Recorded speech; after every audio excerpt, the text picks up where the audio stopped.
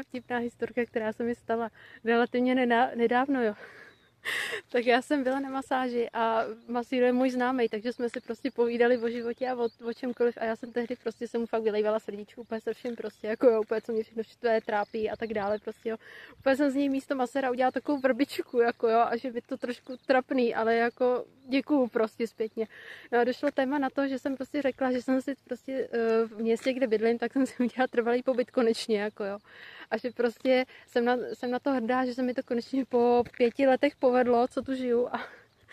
a on řekl, že má z toho velkou radost, že jsem prostě taky už rodačka de facto a že prostě už jsem tady nastálo a že to je super zpráva, tak mě to hrozně potěšilo a, a pak řekl, no,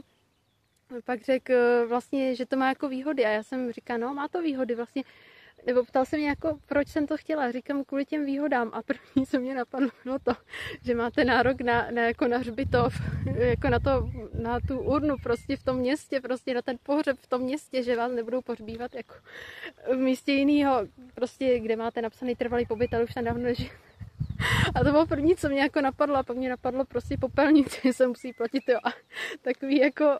srandovní prostě věci. A on se začal prostě smát, řekl mi, no, tak to si teda jako začala hodně do budoucna teda myslet, jako. A já jsem v tu chvíli vyprskla smíchy, protože pak mě nic lepšího nenapadlo, až potom jsem dodala, že je to vlastně jako kvůli třeba doktorům, jo, že mám tady nárok na obvodáka a že prostě jako kvůli tomuhle, nebo třeba parkovací místo a tak, jo, ale prostě jako nehorázně jsem prostě se strapnila, asi to bylo prostě to momentální, nevím, depresí, nebo já nevím, ale teď zpětně se tomu fakt směju, jako no. Myslím si, že i on se pobavil.